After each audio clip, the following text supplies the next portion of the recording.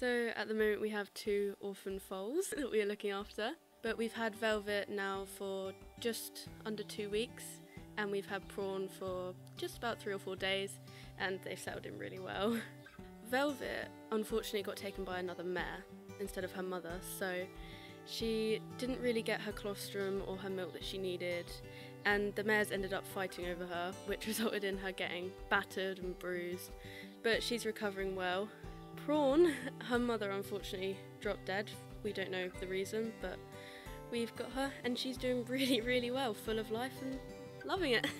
I muck them out, help my mum do. So they have a grass net just to make them more adapted to outside life and everything. Um, they have fresh milk usually every four to six hours just to keep them going because they are sharing it between two of them, so it goes quite quick. I mean, we walk them out into their little paddock. They have fun there. They play with each other, chase me up and down. they think I'm their friend, and do their water, scratches, stretches. We're hoping that they'd go out in the forest, but they're almost too tame to go out in the forest because where they've been very humanised with us, obviously we had no choice because we had to help them. But maybe in the next few years we'll see how they're going. Obviously, if they're too friendly, we don't want them out in the forest because otherwise that encourages people to touch them, feed them. But they'll have a happy life either way.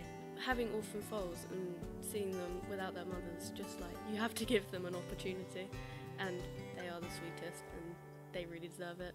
I think that's where my passion comes from. Just I've I've been around them all my life. I sat on my horse, first horse, when I was eight weeks old. Horses are just everything to me, mainly.